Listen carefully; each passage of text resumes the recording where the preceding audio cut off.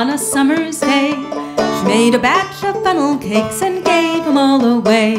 She gave one to her papa and her sister Holly too. But the one she gave her mama spelled out, I love you.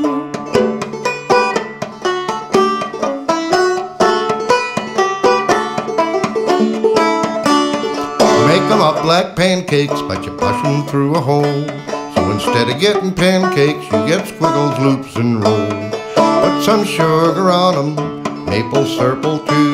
The secretest ingredient is I love you.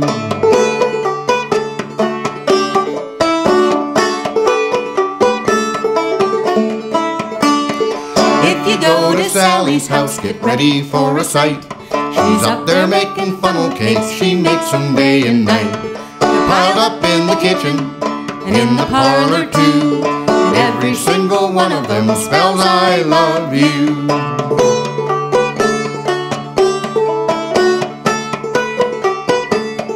I love you.